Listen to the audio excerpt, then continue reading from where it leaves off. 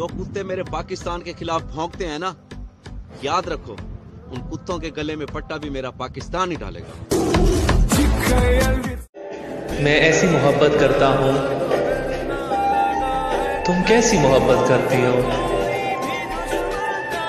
वो लोग तो बस अफसाने थे इस शिद्दत से बेगाने थे। धमकियाँ किसको देते है? दुश्मनों है अगर तुम तो फिर सामने से लड़ो। हाथ करना तुम्हें कोई मुश्किल नहीं। पास बाने वतन को ये आसान है। आसान है। सलाम पाकिस्तान सलाम पाकिस्तान।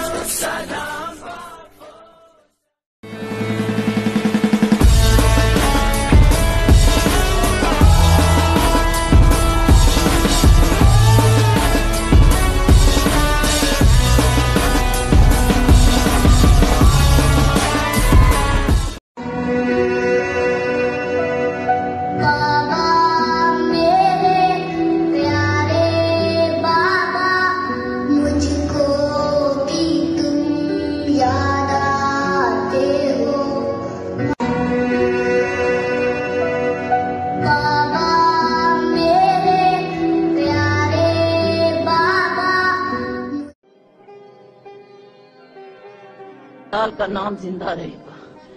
बिलाल को आखिरी अपनी ख्वाहिश पूरी करनी थी। वो आगे बढ़ता चला गया।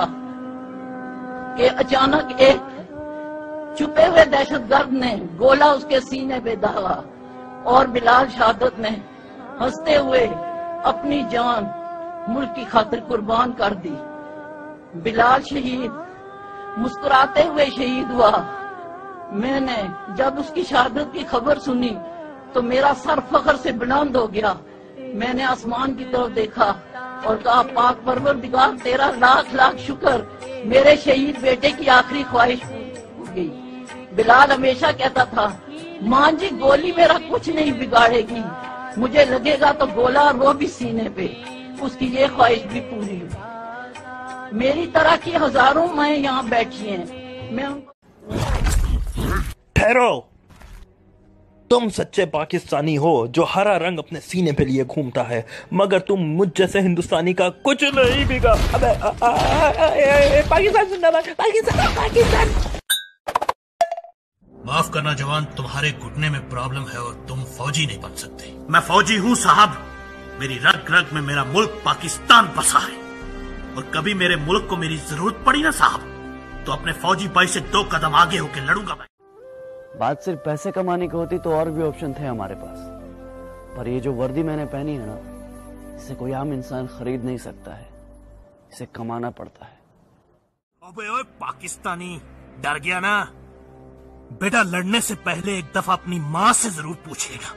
तेरी माँ तुझे एक ही नसीहत करेगी। इस दुनिया में कुछ भी करना लेकिन कभी किसी पाकिस्तानी से नहीं लड़ना। जय। सर डर लग रहा है? No sir. शादी हुई है? दो साल पहले हुए सर। बच्चा है? तीन महीने की बच्ची है सर। मर गए तो? परवाह नहीं सर। मुझे दस मिनट के अंदर वो बॉम्ब चाहिए। मिल जाएगा सर।